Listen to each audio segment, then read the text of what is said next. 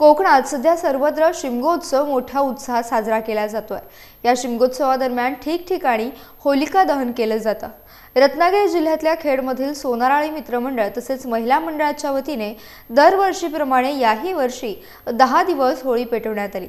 तसेच आता शिमगोत्सव संपेपर्यंत विविध धार्मिक कार्यक्रमांचे आयोजन करण्यात आले असल्याची माहिती सोनाराळी मित्रमंडळ तसेच महिला मंडळाच्या वतीनं देण्यात आली आहे.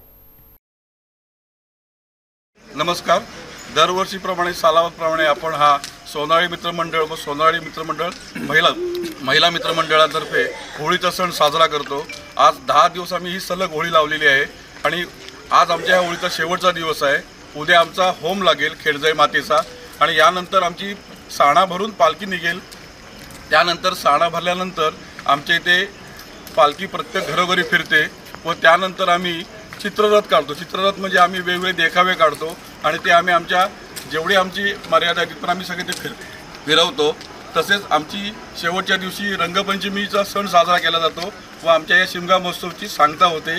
आम्ही सर्व मित्रमंडळ खेळीबिळीच्या वातावरणात हा सण साजरा करतो आणि हा स- तुम्ही आमचा चित्ररथ बघण्यासाठी सगळ्यांनी खरोखर सोनाई मित्रमंडळ व महिला मंडळाला भेट द्या अशी विनंती करतो आणि इथेच थांबतो.